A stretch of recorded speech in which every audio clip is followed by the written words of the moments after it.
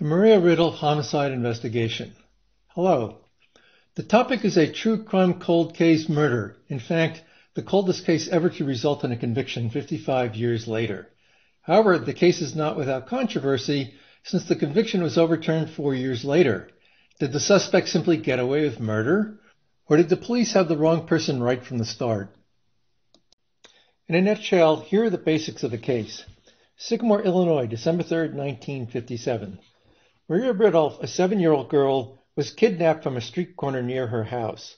Five months later, her body was found outside of Woodbine, Illinois, nearly a hundred miles away. The only witness to the crime was a girl named Kathy Sigman, Maria's best friend. The perpetrator was someone who called himself Johnny. The FBI and later the Illinois State Police launched massive investigations into the case. However, in spite of their best efforts, the case went cold and no suspect was ever arrested. Fifty years later, the case was reopened when a new suspect, Jack McCullough, also known at the time as John Tessier, was identified. After three years of investigation, he was arrested in 2011. He was tried and convicted in September of 2012. The conviction was upheld on appeal in February of 2015. However, a year later, the conviction was vacated and the charges were dismissed in April of 2016. In this presentation, I'm not going to tell the story in the usual way, but I'm going to tell it through the eyes of the investigators when the case was reopened in 2008. After that, I will go through a series of allegations made by the investigators and prosecution and show how they stand up to the actual facts. Now, there's a caveat. I'm basing this story on documents and interviews with the investigators, not on personal knowledge. So some amount of conjecture is involved, and in places I may not have the story quite right. For those who would like to learn more about the case, it has been covered extensively in various forms of media, including numerous newspaper articles, five books, six radio interviews with the authors of those books, four news documentaries, at least 20 YouTube videos, nine podcasts at least, and most importantly, it was an episode on Dr. Phil. Now, one of the unique aspects of this case is that a huge amount of documentation is available, including both the original FBI and Illinois State Police reports the police reports from the 2000 investigation onwards, and lots of legal filings and transcripts. You almost never get that kind of information in a true crime investigation. Thus, we have all the reports from the original investigation, all of the so-called field notes, which are actually the police reports from the new investigation, the statement of probable cause, which is a document prepared at the time that Jack McCullough was arrested, the Seattle interrogation video, which is a three hour interrogation of Jack just after he'd been arrested. We also have the transcripts of two grand juries, the trial transcript, and various other court hearings, appellate briefs, court opinions, and finally the report of Richard Schmack, who is the state's attorney, who is the one who had the conviction overturned. At this point, I'm going to present one slide with more information on what was learned from the first investigation in 1957. I will only give the essential details. Much will be left out for the sake of brevity. On the evening of December 3, 1957, snow was starting to fall in Sycamore, Illinois, and two young girls, Maria Ridulph and Kathy Sigman, who were best friends, were given permission to go outside after dinner to play. They met up at one of their favorite spots, a big tree on the corner of Center Cross Street and Archie Place. After they had been playing for a while, a man who called himself Johnny walked up, started acting very friendly, and offered piggyback rides. Maria accepted, and Johnny then asked if she had a doll. Maria ran home and returned with a rubber doll. Kathy then said her hands were cold and she went home to get her mittens. When she returned, Maria and Johnny were gone. The next day, the FBI came to town and it launched a full investigation. At peak, 60 agents were working the case. The story made national news. Hoover demanded daily reports. Even Eisenhower was briefed. However, the FBI had a serious handicap. There is no useful physical evidence, and the only one who knew what Johnny looked like was Kathy Sigman. She was eight years old. The FBI turned the town upside down and wrote reports on over 200 suspects, but in the end, no one was charged. Five months later, Maria's body was found almost 100 miles west of Sycamore outside the small town of Woodbine. Since she had never left the state, the FBI no longer had jurisdiction, and the Illinois State Police took over. It also investigated dozens of suspects but in the end it too came up empty and the case went cold for 50 years.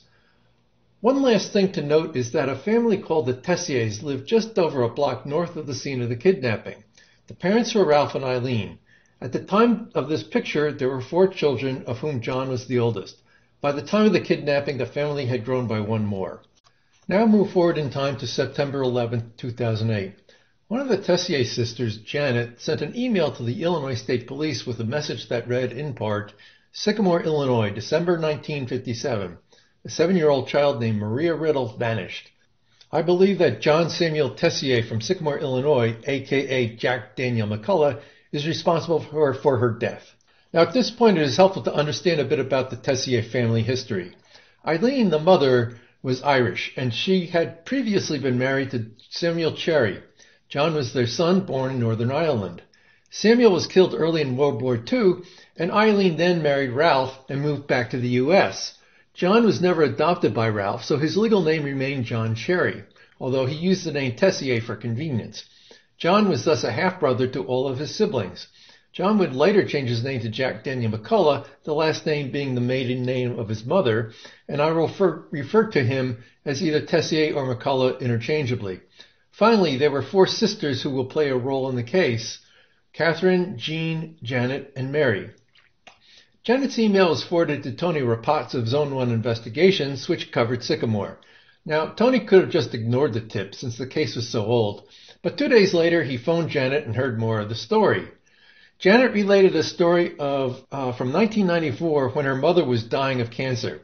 And according to Janet, when her mother had only two weeks to live, Janet was sitting by her bedside and her mother grabbed her wrist and said, Janet, those two little girls, the one that disappeared, John did it. John did it and you have to tell someone. So Eileen has been carrying this terrible secret with her for all these years and now it's Janet's secret. So finally, 14 years later, she died, decided to do something about it.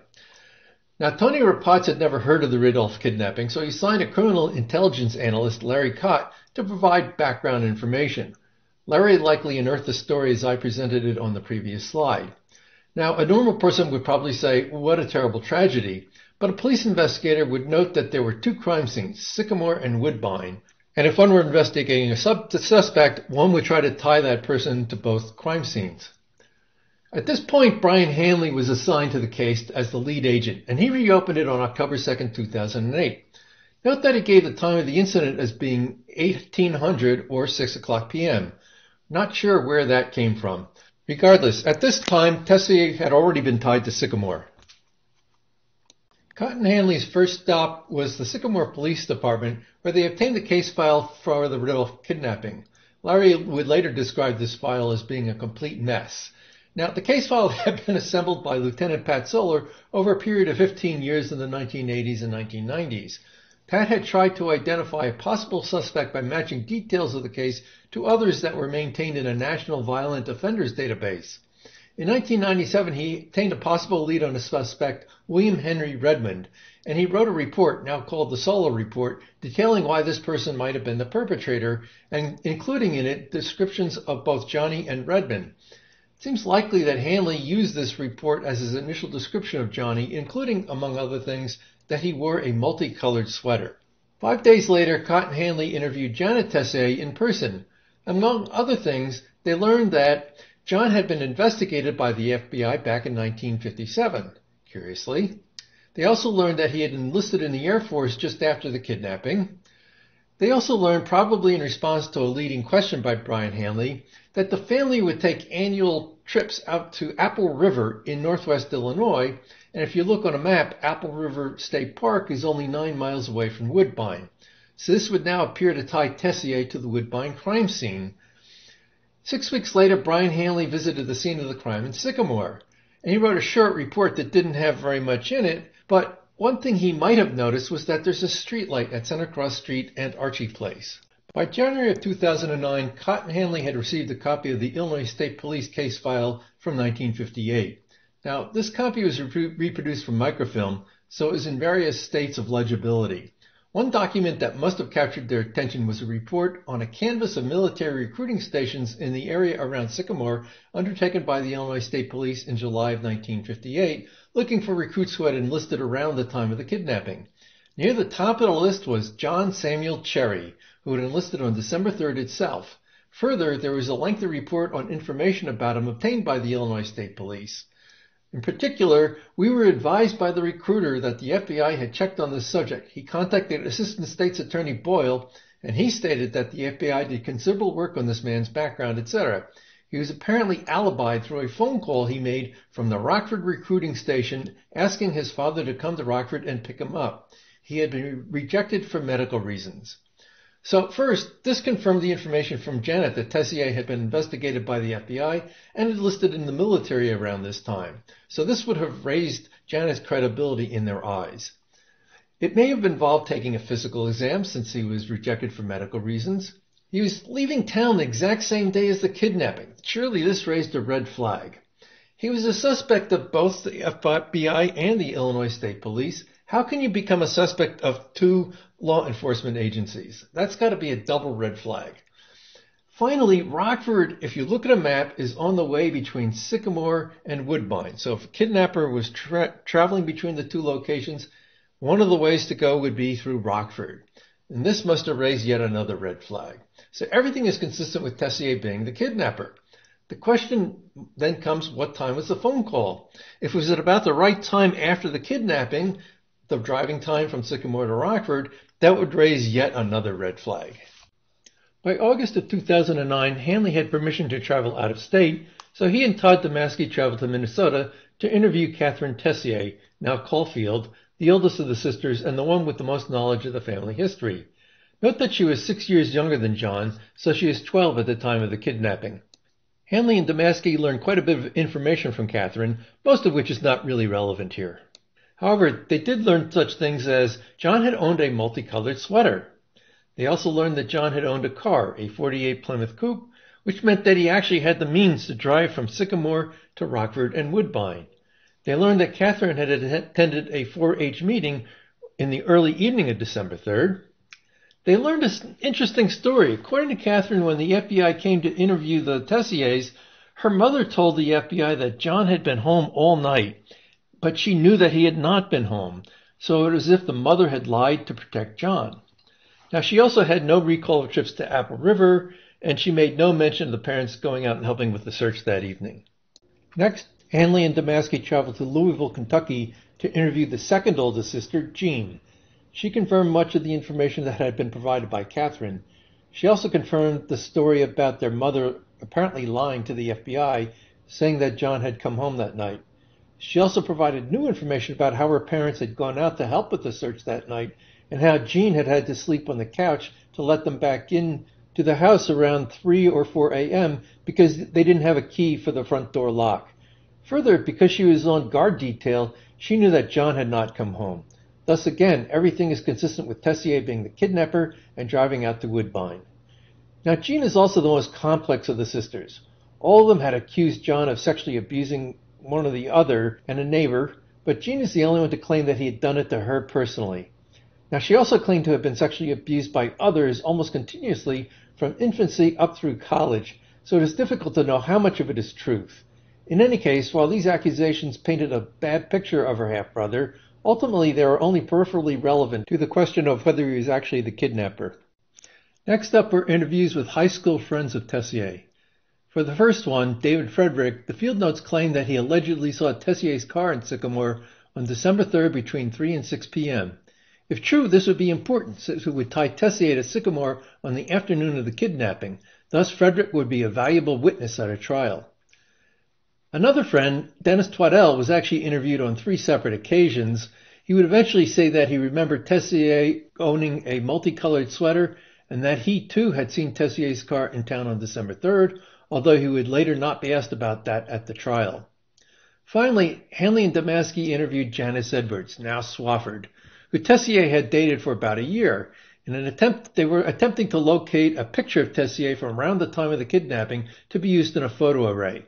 Amazingly, she was able to locate just such a photo from a trip to a nightclub in June of 1957. Even more curious, she found an unused train ticket behind the photo intended for travel from Rockford to Chicago. It was dated four days prior to the kidnapping. Now, at this point, Cott and Hanley still didn't have a detailed timeline for Tessier's whereabouts on the day of the kidnapping, but the ticket suggested that train travel and Chicago may have been involved. So on the top, we had the picture that Janice Edwards is able to find showing herself and Tessier at this nightclub, the uh, Sky Club at the Leland Hotel in Aurora, Illinois, June 1957. And at the bottom is the train ticket, front and back. If you notice on the right hand picture, it's dated November 29, 1957, good for 30 days. Finally, in June 2010, nearly two years after reopening the case, Cott and Hanley received the FBI files from 1957, which once again had been reproduced from microfilm. The files contained over 2,000 pages, so they cannot be digested easily. We do not know how Cott approached extracting information from the files, but they had been scanned and indexed, so it was possible that he first searched for all references to Tessier. If so, he would have discovered that there were 10 pages of interest, including a detailed timeline that Tessier had told to the FBI. Interestingly, much of the information that they would read in the files would simply co- corroborate what Cott and Hanley had already learned. The main new information was that Tessier said that he went into Chicago to the induction center to take a physical, that there was a problem, and that he had traveled from Chicago to Rockford using a ticket they had provided to him at the center. At this point, Cott and Hanley must have decided that since Tessier didn't use the inbound ticket, he probably drove, which would mean that he also drove back to Sycamore, which in turn meant that he could have been the kidnapper and later lied to the FBI. Additionally, Cott and Hanley learned that the phone call had been made at 6.57 p.m., so that the time of the kidnapping was 6 o'clock p.m., as Hanley had originally written down when he reopened the case, then that matched quite well with the expected travel time from Sycamore to Rockford, and it meant that Tessier had deliberately made the call to establish an alibi. They may also have decided that the reason Tessier had been cleared by the FBI in the first place was because the FBI wasn't yet aware of Woodbine or the significance of Rockford, and it didn't know about the unused train ticket. Now, at some point, they must have realized that there was an apparent problem with their presumed time for the kidnapping and various statements made by witnesses who had been interviewed by the FBI, but resolving these discrepancies may have come later. The reason for wanting Tessier's picture for a photo array was so it could be shown to Kathy Sigman, the only person who had, knew what Johnny looked like. She's now Kathy Chapman, in her 60s, with kids and grandkids. What were the chances that she would remember his face after 50 plus years? It has been stated that the photo array shown at the bottom of the slide here was suggestive in the extreme. Tessier's photo was taken with a flash camera, while the others were high school yearbook photos taken in a studio setting. Suggestive? Yes. In the extreme, I've seen far worse. Hanley and Damasky met with and interviewed Chevin on September 1, 2010.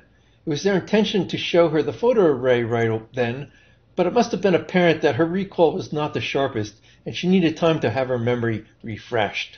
So Hanley returned eight days later with a substitute for Damasky, and this time presented the photo array, and she picked Tessier's picture.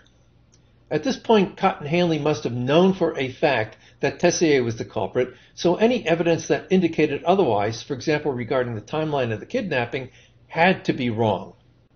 A part of Tessier's alibi that he told the FBI was that after returning to Sycamore, he went out on a date with Janice Edwards, his high school girlfriend. Janice was recontacted by Hanley in October 2010, and according to his field notes, she told him that she wasn't allowed out that night and didn't remember seeing Tessier. I will now jump ahead a bit. After McCullough had been arrested, the DeKalb County State's Attorney set up a tip line for people who might be able to provide additional evidence. One of those people was Pam Long, who lived in Sycamore in 1957, and who recounted a scary piggyback ride she had received as a young girl long before Maria had been kidnapped. She said the person who gave her the ride was named Johnny. She also revealed that old man Tessier, John Tessier's step-grandfather, had lived in the house behind her backyard. McCullough was confined to the DeKalb County Jail for over a year after his arrest, and on account of his being an inveterate talker, he told his story to three inmates, and they would later come forward and volunteer to snitch on McCullough, claiming that he had confessed to the crime. Kirk Swaggerty claimed that McCullough had told him that he had accidentally smothered Maria.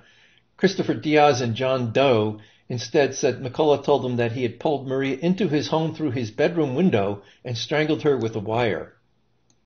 During the investigation, Jack McCullough was living in Seattle, so when the time came to have him arrested, Hanley and others from the Illinois State Police traveled to Washington State and worked with the Seattle Police Department to have Jack arrested and hailed into the Seattle Police Department headquarters for questioning. The primary Seattle detectives to assist them were Cloyd Steiger and Mike Cieszynski. The interrogation lasted for over two hours and was mainly carried out by David Zulawski and Mike Cieszynski. Now, Zulawski was from the Chicago area, but was not affiliated with the Illinois State Police. Instead, he ran a consulting company that offered training courses in interviewing and interrogation techniques. He was brought in because McCullough had previously been a policeman, and it was thought that a trained specialist might have a better success at questioning him. After returning to Illinois, he wrote a featured article on his company's website that described the details of the interrogation. McCullough was extradited back to Illinois, and a year later was tried in a bench trial, Judge Hallock presiding, and found guilty. The prosecution team consisted of Clay Campbell, Julie Trevarthen, and Victor Escarceta for the DeKalb County State's Attorney's Office.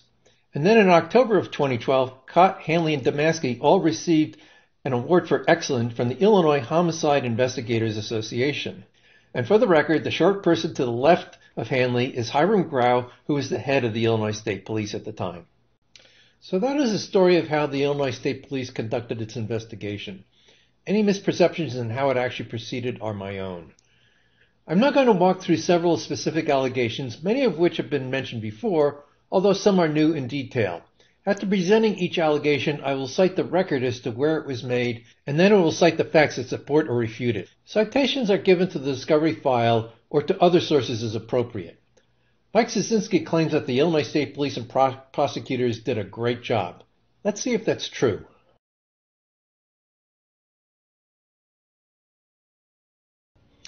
Allegation Tessier lied to the FBI saying he took the train from Rockford to Chicago using a ticket given to him by the Air Force recruiter. So in the statement of probable cause, in the section where it is describing what Tessier told the FBI when he was being interviewed, he claimed that he had been given a train ticket from Rockford to Chicago, and that is how he got there. And of course, we know that can't be true because the train ticket was never punched and it was never stamped. So the Chicago Tribune wrote an article after McCullough had been arrested it obtained a statement of probable cause and used that part of it as, a, as the basis for its story. David Zulawski featured an article, his story to the FBI that he had taken the train to the city of Chicago using the ticket given to him by the recruiter could not be true. Everybody had a copy of the Tessier report from the FBI. Where did he say how he got into Chicago? He didn't. He never told the FBI how he traveled into Chicago. The assertion that he had done so in the statement of probable cause was a fabrication. So I've decided to give out my own awards. I call it the Good Police Work Award. I'm going to give one each to Brian Hanley, David Zulawski, and Cloyd Steiger, who are the authors of the Statement of Probable Cause. Great job, guys. Allegation. Tessier lied to the FBI saying he took the train from Chicago to Rockford using a ticket given to him by the Air Force recruiter. So Mike Cieszynski during the Seattle interrogation told Jack, this girl, which is Jan Edwards, here gets a train ticket, an unused train ticket that you were supposed to have used and didn't use that night. Charles Ridulph on Dr. Phil was explaining all the different stories that Jack gave about how he got from Chicago to Rockford. And according to Charles, first he said he took the train. Then, when they came up with the ticket showing that he did not take the train, and then Charles goes on and explains the other stories that Jack gave. Fact, the train from Chicago to Rockford is the outbound train. The unused train ticket that they have is for the inbound train. It's the wrong ticket. Allegation. During the Seattle interrogation, McCullough told both Zulawski and Cieszynski that he took the train. The bottom of the slide here shows two pictures. The one on bottom center shows McCullough at the top, Brian Hanley to the right, and David Zulawski to the bottom left. David has the FBI files open and sitting in his lap. At the bottom right, we see McCullough at the top again, and then Mike Cieszynski is doing the interrogating here. At the August 2011 grand jury proceedings, Julie Trevarthen asked Brian Hanley, can you summarize for the grand jury what he initially said about where he was on December 3rd of 1957 in this interview? And Brian Hanley said, he said he took the train from Rockford to Chicago. He stated that he took the train from Rockford to Chicago.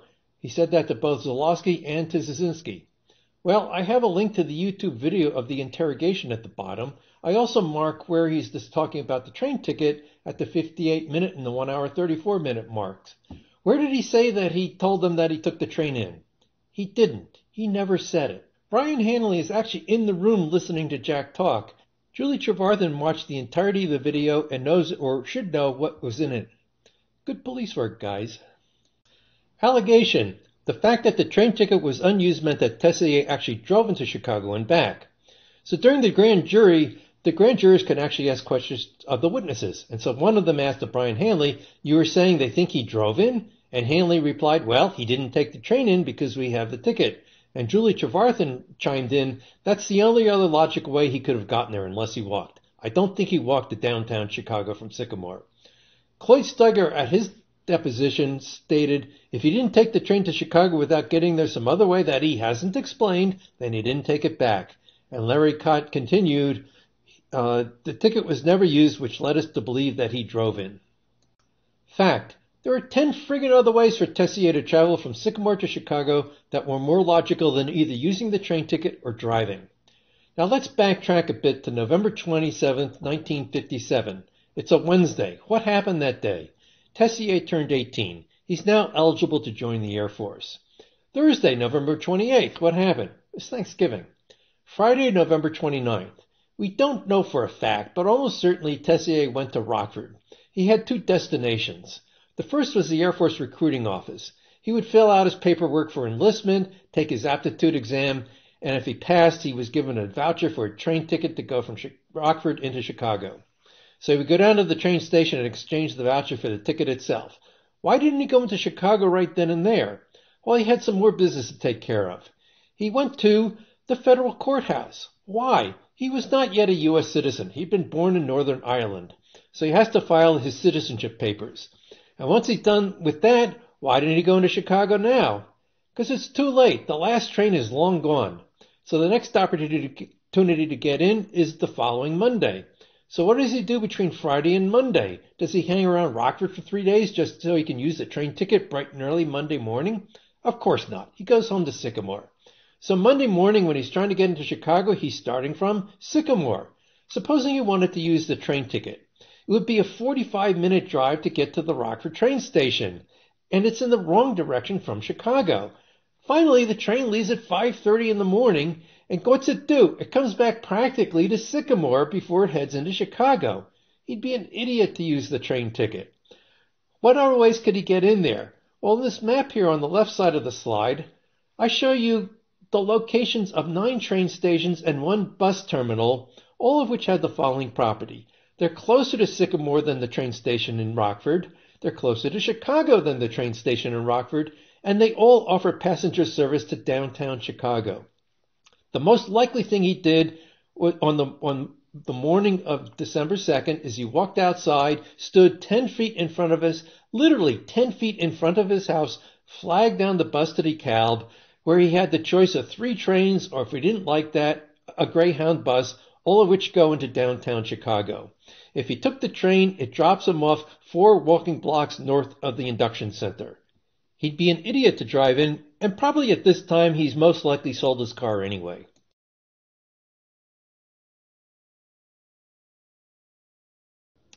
Allegation. Tessier changed his name to Jack McCullough shortly after Maria was kidnapped, implying that he was attempting to hide his identity from law enforcement.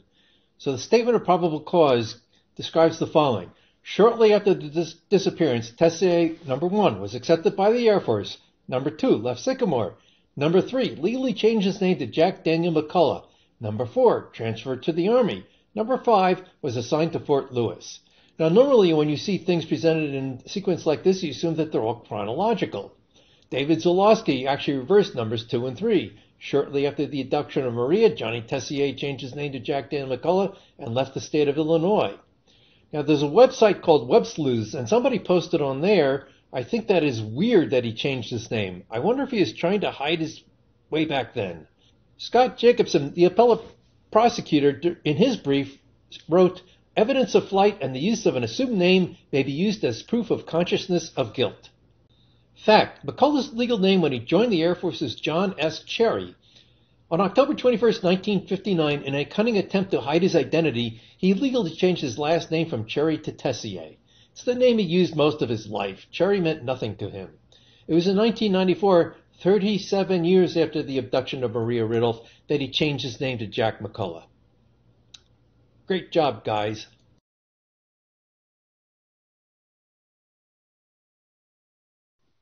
Allegation. Both Tessier and Johnny wore a multicolored sweater. Pat Solar, in his report on status in 1997, wrote, Unsub, i.e., unknown subject, Johnny, the one who kidnapped Maria, or a multicolored sweater.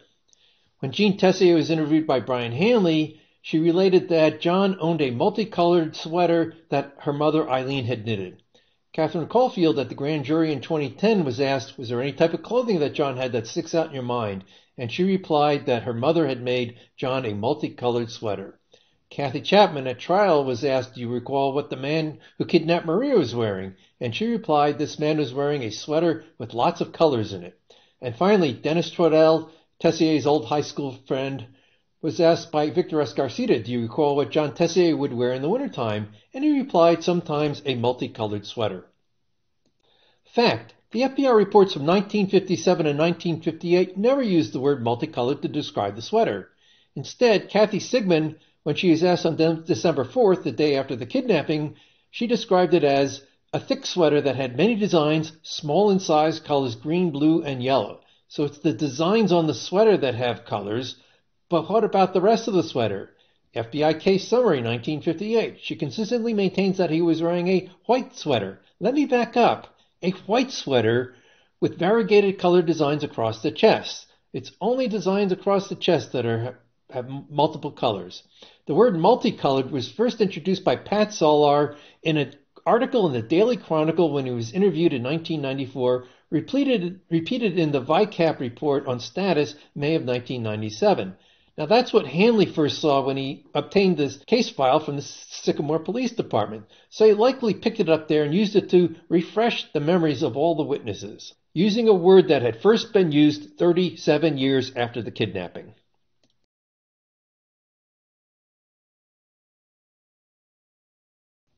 Allegation.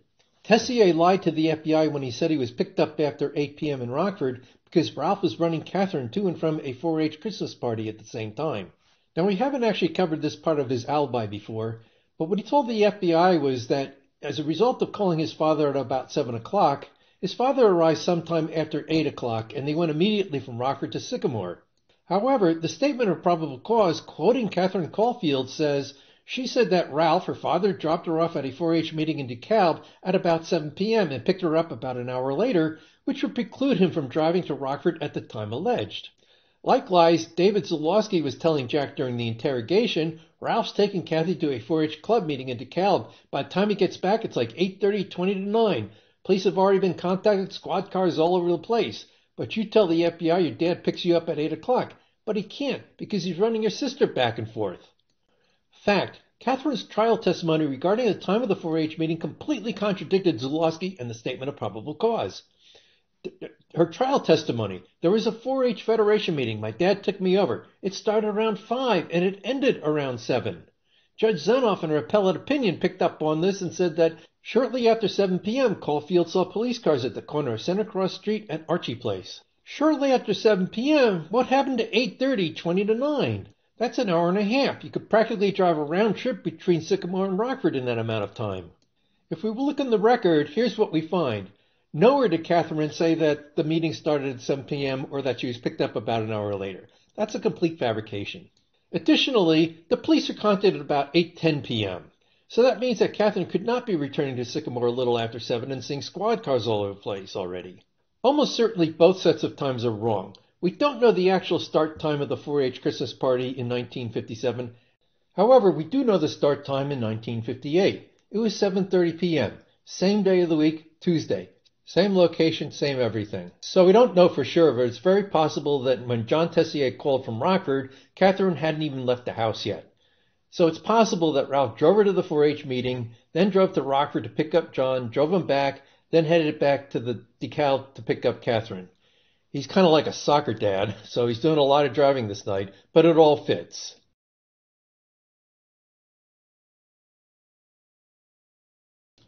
Allegation. John's mother lied to the FBI, saying John was home all night in order to protect him.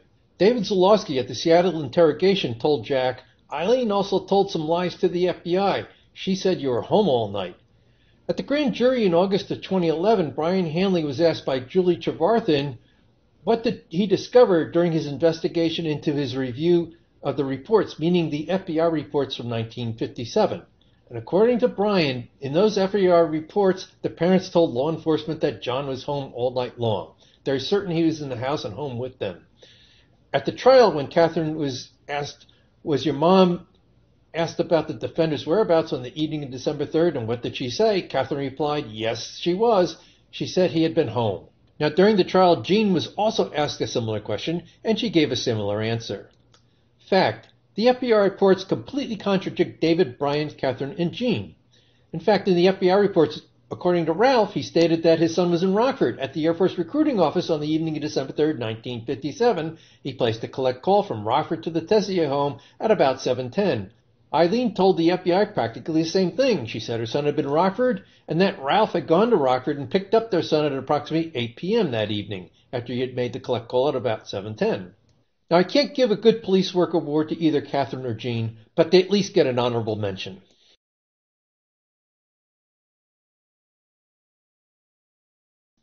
Allegation. Kathy Chapman's selection of Tessier's picture from the photo array was the first time she had seen Johnny since the night of the kidnapping. At the trial, Kathy Ch- testified as follows. From my recollection from seeing that picture, that was the picture of Johnny that I had never seen until that day. Julie Trevarthen, in her closing statement, said Kathy Sigman waited over 50 years to have the right answer put in front of her. But on September 9th of 2010, this photograph was her answer. This was the face she had been looking for every day since Maria was kidnapped and murdered in 1957. Scott Jacobson, the appellate prosecutor, in his brief stated, through all of the lineups and show-ups after Maria's disappearance and through all of the intervening years, defendant was the only person Sigman identified as Maria's kidnapper. Fact: On December 22, 1957, witness Kathy Sigman viewed a show-up at the Dane County Sheriff's Office, Madison, Wisconsin, and identified Thomas Joseph Rivard as the unknown subject of this case. Now, Rivard was a filler in the lineup, and it turned out he had nothing to do with the kidnapping. Now let's compare the picture of John Tessier that Kathy picked in 2010 with the description that she gave to the FBI back in 1957. Back then, Kathy said that the man took off his hat that he had blonde wavy hair that fell on his face. Can you see a hat? Do you see blonde wavy hair long enough to fall on his face? When he took his hat off and he brushed his hair back with his hand. Eye tooth on upper right side missing. Do you see a missing tooth on his upper right side? And then when she was asked to describe what reminded Rivard of Johnny, she said she noted that his voice and mannerisms were similar. Can you hear his voice? Do you see any mannerisms? And then he pushed his hand through his hair. Do you see a hand being pushed through hair? And set his hat on the back of his head like the unknown subject. Rivard was five foot four, age 35. Tessier was five foot eleven, age 18. Can you tell Tessier's height from this picture here? This is not the face that she described to the FBI back in 1957.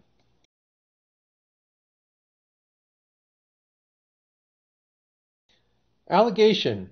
A street light at the corner of Center Cross Street and Archie Place enabled Kathy to get a good look at Johnny. At the time that Jean Tessier was interviewed by Brian Hanley, she's writing a memoir, and after the interview, she added a chapter on the Ridulph kidnapping. Now, it's clear that Jean had been briefed at some level because she put in some details that she would never have known about back at the time of the kidnapping. In any case, here's what she wrote. Maria had been last seen standing under a street light with her friend Kathy just after dark. Back to the website WebSleuths, a poster wrote, A person I know from Sycamore says there was a street light on that corner back then, and that it was the only street light on that corner back then, which is why Maria and Kathy were playing there. After Tessier had been arrested, Kathy Chapman was interviewed by the Chicago Tribune, and the story there related that when Johnny approached, the girls were playing under a corner street light. At the trial, Charles Ridulph testified that the corner was lit up. At the trial, Kathy herself testified the corner had a street light on it. Very dark, very dark, but street lights on the corner of Archie Place and Center Cross. We stood on the street corner with that light shining down. I observed Johnny by standing in that street light. In her appellate court opinion, Judge Zenoff described what are called the Lewis factors, which are what are used to assess the credibility of a single eyewitness identification. And the first of these factors is the witness's opportunity to view the criminal at the time of the crime. And as Judge Zenoff related, Chapman stood with Johnny observing him under the streetlight while Maria went home to get her doll. She had an adequate opportunity to view Johnny, so the first factor weighs in the state's favor. Let me emphasize, Judge Zenoff is relying upon the fact that there is a street light on that corner and using it to help uphold the conviction of Jack McCullough for kidnapping and murder. Fact, the street light did not exist. The nearest street light was one block north. How do we know? Sycamore Tribune, December 6, 1957. There is no street light at Center Cross and Archie Place. The following two items are from the FBI files. Circumstances. It was dark at the time. There was a street light approximately 50 yards north. Case summary. The street light was approximately 150 feet north at the corner of Center Cross Street and Center Avenue. Now, if you stand directly under a street light, yes, you can see what's happening around you. If you're standing 150 feet away, all you can see is the street light. It doesn't cast any measurable amount of illumination around you. How did Kathy Sigman view Johnny? According to Kathy, she stated there was sufficient light from the headlights of automobiles passing by for her to have seen that man. The streetlight that Kathy Chapman described during the trial was a figment of her imagination. So where did the streetlight come from that Brian Hanley saw in that street corner? Well, it turns out that the city council spent more than a month over three different meetings debating whether or not to approve the installation of a streetlight at Center Cross Street in Archie Place. I have three newspaper articles here from three different newspapers covering the debate. Finally, on January 27, 1958, as reported the next day, installation of a new streetlight at Center Cross Street in Archie Place, scene of the kidnapping, was approved without mentioning the case. Now, I previously mentioned that Pam Long had called the state's attorney's office after Jack McCullough had been arrested, telling them the story about a scary piggyback ride she had received from someone she had called Johnny long before Maria had been kidnapped. Here she is on the 48 Hours documentary, standing in front of her old house in Sycamore, pointing in the direction that the piggyback ride took place. Now, her house is on a street corner, and she's pointing east along Exchange Street. She said she was playing on the sun porch in the front of her house when Johnny offered her the ride. On the left side of the picture, heading north, is Sacramento. It goes past the side of her house, her backyard, and then it reaches another house, which is the home of Old Man Tessier, John Tessier's step-grandfather. Pam Long was called as a witness at the trial and gave her story. Allegation Pam Long tied Johnny, who gave her the piggyback ride, to Tessier's grandfather, Old Man Tessier, whose house was behind her backyard. This comes from Judge Zenoff's appellate opinion. Long testified that the last piggyback ride occurred by Old Man Tessier's house, which was in Long's backyard. Long connected defendant to Maria's disappearance by tying Johnny to defendant's grandfather's house. Fact Long never testified that the piggyback ride occurred by Old Man Tessier's house, nor did she tie Johnny to his house either. At the trial, just as she said on the 48 Hours show, most of the piggyback rides were just in front of her house. Judge Zenoff just made stuff up.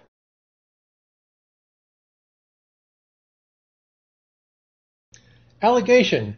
None of the three jailhouse snitches who testified against McCullough had any deals with the prosecution or the state police.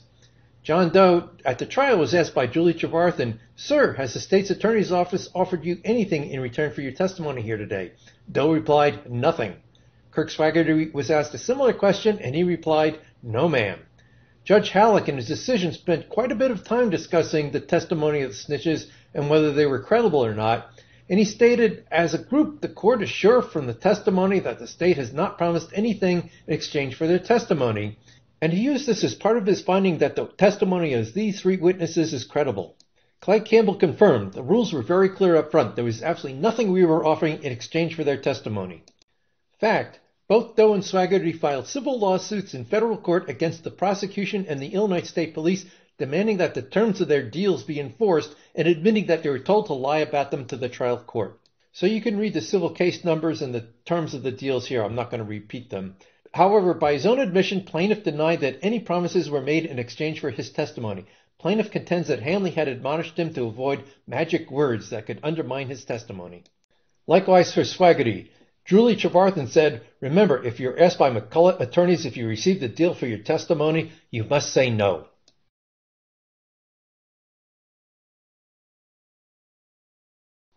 Allegation. The kidnapping happened between 6 and 6.15 p.m early enough that Tessier had time to get to Rockford to make the alibi phone call at 6.57 p.m.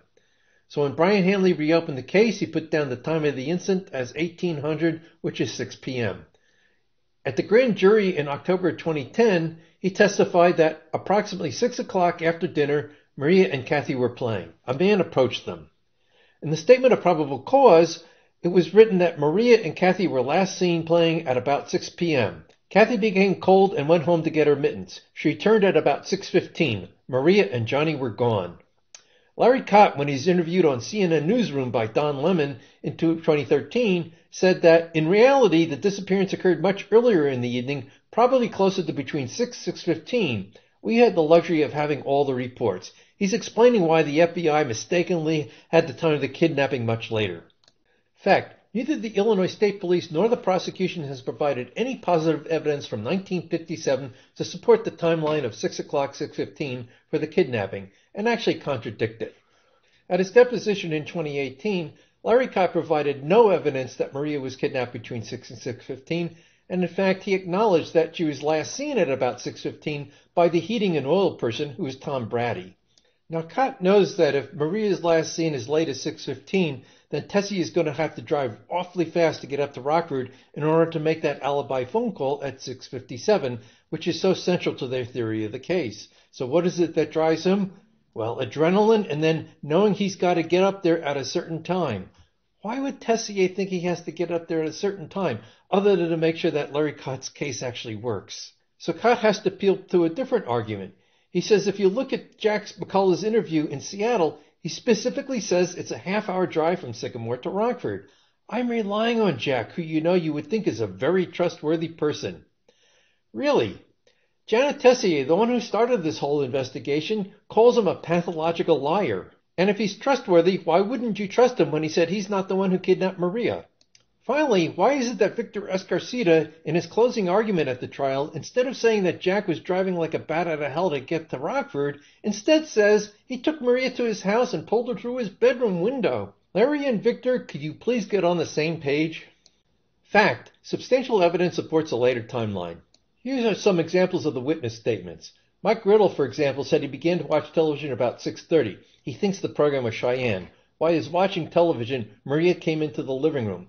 This is when Maria came home for her doll. Mrs. Ridulph stated that about 6:40 p.m. while she was in her first floor bedroom reading the newspaper, Maria came into the bedroom, again looking for a doll. Mrs. Sigman estimated the time that Kathy appeared for her mittens to be approximately 6:50 or 6:55. Mr. Strombaum, who lived next door to the Ridulphs, noted that on his way to work at approximately 6:55 p.m. on that evening, he saw the victim's father calling for the victim. Finally, William Hindenburg, who was the chief of the Sycamore Police Department at the time of the kidnapping, was quoted in a Joliet Police Department report as saying that this happened, i.e. the kidnapping, on last December 3rd at about 6.45 to 7 p.m., the date and time that she was taken from her home. This is the time of the kidnapping established by the FBI.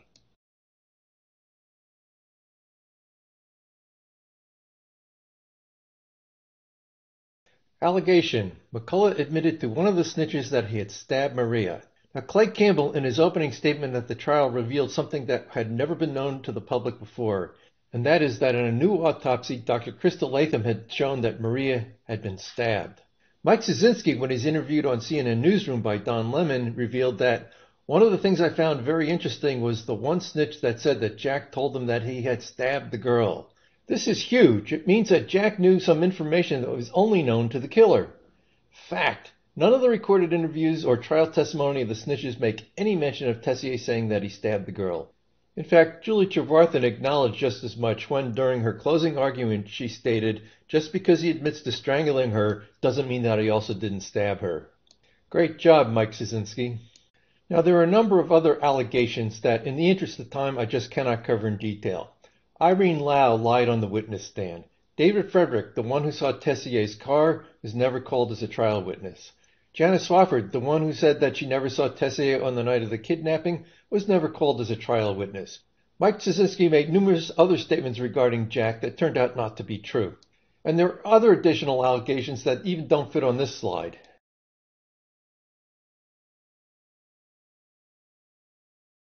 Up to now, we've been examining allegations made by the police and the prosecution against McCullough. Let's go the other direction and examine the alleged alibi given by Tessier to the FBI in 1957. Allegation Tessier took the train from Chicago to Rockford December 3, 1957. Now, Tessier had gone to the induction center in Chicago to take his physical. He had had a problem with his chest x ray and he was given some paperwork to take back to the recruiting sergeant in Rockford. The prosecution admits that this was the case. He was let out at about noon. So his alibi that he told to the FBI is as follows. He said that he caught a train out at about 5 o'clock p.m. bound for Rockford. He arrived in Rockford at about 6.35. He left the train station, walked directly to the post office, which is where the recruiting office is located. Upon arrival, he found the recruiting office closed. He then went to the front of the post office, found a telephone, and called his parents at about 7 p.m. It might seem impossible to be able to verify the above, given that there is only one witness that Tessier talked about, name unknown, who's likely now dead, and there's no physical evidence. But let's give it a try. So first we need some facts. First, we need the train ticket, the one that supposedly cracked his alibi. It has an important clue the name of the railroad company. It was the Illinois Central. The Illinois Central station was located at 815 South Main Street in Rockford. The post office is located at 401 South Main Street. The one fact that we cannot be sure of is the location of the recruiting office. According to Oswald, it was on the third floor. The right side of this slide shows a map of downtown Rockford with the locations of the train station and the post office building marked. The distance between the two is about a third of a mile, and it would take about six and a half minutes to cover that distance walking at a steady pace. This suggests constructing a timeline of Tessier's actions, starting with the scheduled arrival time of the train and ending with the time of the collect phone call being recorded by the phone company. I put together a table on the left side of this slide with eight such actions some of which have predictable elapsed times, while others have some uncertainty. For example, the actual arrival time of the train relative to the timetable, the location on the train where Tessier actually sat, and so forth. For the latter, I give a range of possible elapsed times based on my own reasonable estimates. You can make your own if you wish. Summing them up, I estimate that the time of the collect phone call should have been about 12 minutes, give or take four or five, after the scheduled arrival time of the train. It is important to remember something. The time of the collect phone call has to have fallen within this narrow window of time. If it fell outside, Tessier's alibi would be crushed. Now I'm actually going to go through the timeline in reverse order. We've already covered the time of the phone call. It was at 6.57 p.m. Here on top is the FBI record of that information provided by Dan Schaefer, General Manager of the Sycamore Ogle Telephone Company. So given the time of the phone call, we would predict that the arrival time of the train would be 12 minutes earlier, which is 6.45 p.m., again, give or take about 4 or 5 minutes. The scheduled arrival time of the train turns out to be the most difficult information to track down. If the FBI had looked it up, they didn't make a record of it. In the course of the 2008 investigation, Neither the Illinois State Police, the prosecution, the public defender, nor the Seattle Police Department obtained a copy either. So, where can you find a copy of the Illinois Central Timetable effective on December 3, 1957? The answer is eBay. So I've reproduced the relevant section of the timetable here. It turns out there are only two trains that day. The first one, number 11, the Hawkeye, left at 10:40 p.m. It was the overnight train and it arrived in Rockford after midnight. That doesn't match Tessier's alibi at all. The other train, the only one that he could have taken, was number 13, the Land of Corn. It was scheduled to depart Chicago at 5:15 p.m. and arrive in Rockford at 6:45 p.m. Bingo. Now it turns out that the FBI also wrote down the phone number in Rockford where the phone call was made from, 29297, but they didn't actually look up, up look up the location. The number today, if it were in service, you would have to add the digits 81596 in front. So the state's attorney, Richard Schmack, issued a subpoena to the current phone operator, AT&T, to find out the location of the telephone when it was in operation. And he received back a printout which showed that the phone was actually located at 401 South Main Street, the post office building, exactly where Tessier had told the FBI he had been over 50 years earlier. Bingo again. Note that we have had no need to rely on Jack as being reliable. If he was a pathological liar, it would have made no difference. The only way that Tessier could have made the phone call at the time that he did was if he was on the train. And if he was on the train, he was miles away from Sycamore at the time of the kidnapping. Clay Campbell was replaced as state's attorney in 2012 by Richard Schmack. And in 2016, upon reviewing the evidence, including the FBI files, and realizing that Tessier was in Rockford at the time of the kidnapping, and that the Illinois State Police and the prosecution had distorted and misrepresented the record in order to secure McCullough's conviction, Schmack managed to get McCullough's conviction reversed and charges dismissed. In 2017, McCullough was awarded a formal certificate of innocence. At this point, McCullough turned around and sued the Sycamore Police Department, the DeKalb County Attorney's Office, the Illinois State Police, and the Seattle Police Department for his wrongful conviction. After three years, he settled for a little over $4 million in damages. In spite of that, virtually everyone who investigated the case thinks McCullough is guilty. Why is that? I don't know. But it seems that once your mind arrives at a conclusion, it's very difficult to change it. You become convinced of your own correctness and you ignore any arguments to the contrary. No one ever looked at the report prepared by Schmack detailing why he concluded that McCullough was actually innocent. So how did the investigation go wrong? I can't give a definitive answer. The investigators all still think they got it right, so we are reduced to conjecture. However, it may have started right at the beginning. Hanley wrote, The Illinois State Police, in conjunction with the Sycamore Police Department, will work to solve the Ridulph case. Given that they only had one suspect, solving the case meant showing that he's the perpetrator. It should be noted that the tip from Janet provided no useful evidence other than just drawing attention to Jack, and Mary's account of what the mom said, while not outright contradictory, was much vaguer. There's no indication of how Eileen knew about it. However, the animosity of the four sisters against Jack certainly must have provided confirmation for Cott and Hanley that they were on the right track. At that point, one can see how the investigation developed. Conjecture and speculation that might implicate Jack as being the perpetrator rose to the level of fact. Red herrings were not recognized as such. For example, the only reason to be in Rockford is to continue out to Woodbine. Hazy statements from witnesses turned into vivid recollections once recorded in field notes. It was okay to bridge the gap because we knew he was guilty anyway. Contradictions were either ignored or countered with tortured rationalizations without realizing it. The goal of the Seattle interrogation was to get McCullough to confess, and the way to do that was to hit Jack with contradictions in the alibi that he told to the FBI in 1957. However, a necessary assumption of that strategy was that McCullough would remember the details of what he had told the FBI in 1957. The fact that he didn't really remember was not factored in nor even acknowledged as being a possibility, and thus it led to the police to conclude that he was lying. How about the tainting of witnesses? We don't know for sure how much coaching or refreshing of witness memories occurred. All we can do is note certain curiosities, such as that everyone referred to a multicolored sweater, or that both Chapman and Long using the term flip to describe Johnny's hair, a term never used before by anyone. The real tough nut is Kathy's selection of Tessier's picture from the photo array. At this point in the investigation, Hanley had been working the case for nearly two years Yet he was probably aware that up to that point he didn't really have nearly enough evidence to charge McCullough. Thus, getting Kathy to ID Tessier's photo was crucial, but Hanley would only have one chance to have her do so. Is it possible that Hanley helped Kathy out? We don't know. The session wasn't video recorded. Judge Zenoff's appellate opinion is rife with its own biases and illogic and merits a discussion on its own. Here we can point to two instances. For example, in relation to the reliability of Kathy's ID of the photo, Zenoff noted that Kathy had good reason to remember Johnny's face. We agree, but that is not the right question. Rather, did she have the ability to do so? The two are not the same.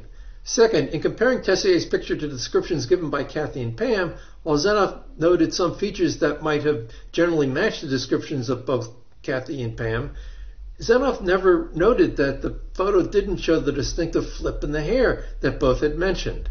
I could go on, but you get the idea. There are a lot of gaps in Zenoff's opinions. So the question is, can we do better? Some have suggested that perhaps we should increase the penalties for fraudulent prosecution, but there are problems there. Prosecutors turn out to have absolute immunity, so you really can't do anything about them. The statute of limitations for prosecuting the state police is only three years, you might want to increase that. However, that might not be sufficiently effective. You would actually like to prevent even reaching this stage. Would better training help? I note that if you start reading journals of crime and law, you find that there's a number of articles having to do with how the police can overlook evidence that might otherwise be used to help convict somebody. But you find far less about how the police might need to pay attention to evidence that might seem to uh, implicate somebody, but in fact is, is actually irrelevant. Regarding the rules of evidence, there has actually been some progress. For example, when witnesses are shown a photo array, the person doing the showing is not allowed to know who the suspect is that they're trying to implicate. In trials that might result in life imprisonment, snitches must be identified to the defendant at least 30 days in advance. Finally, expert reports relevant to the reliability of eyewitness testimony are now allowed into trials. A real problem in the McCullough case was that the judge slanted his rulings regarding hearsay evidence heavily towards the prosecution. Hearsay evidence is normally disallowed at trials, basically because it's treated as a form of gossip. But one exception involves a statement against penal interest, meaning that the defendant admitted to something that would expose him to criminal prosecution, so he wouldn't normally say it unless it were true. That is how the testimony of the snitches was allowed in. The theory is that the defendant could always take the witness stand and rebut it. However, there are many reasons why a witness would not want to testify, such that the opportunity to rebut may be superseded by other issues. In McCullough's case, he had been making statements about his alibi in order to counter what was we now know to be fabrications presented to him at the Seattle interrogation, making him an unreliable witness. Another problem is that the standard of evidence can deteriorate both with the age of a case and over time. The Lewis factors, which we've already mentioned, actually derive from a Supreme Court case Neil versus Biggers. In that case, there was a seven month gap between the crime and the witness making a photo ID. This length of time was already judged to be excessive, but to counter it, the witness had never made an ID before. Zenoff cited People versus Rogers, an Illinois case, as precedent, and in that case, the interval was two years, again with no ID in the meantime. But in both cases, there was an in-person lineup and an attempt at an in-court ID. Further, Zenoff never even raised the question of whether Kathy had previously ID'd someone.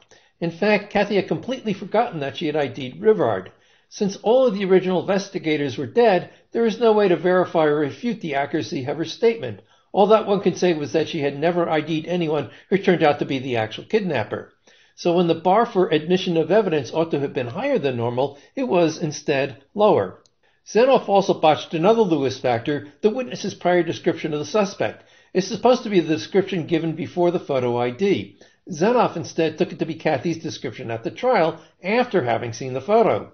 Of course, there was no one who could testify to what description Kathy had given back in 1957 because they were all dead, and Hallock had thrown out all of the FBI files that contained a record of this information.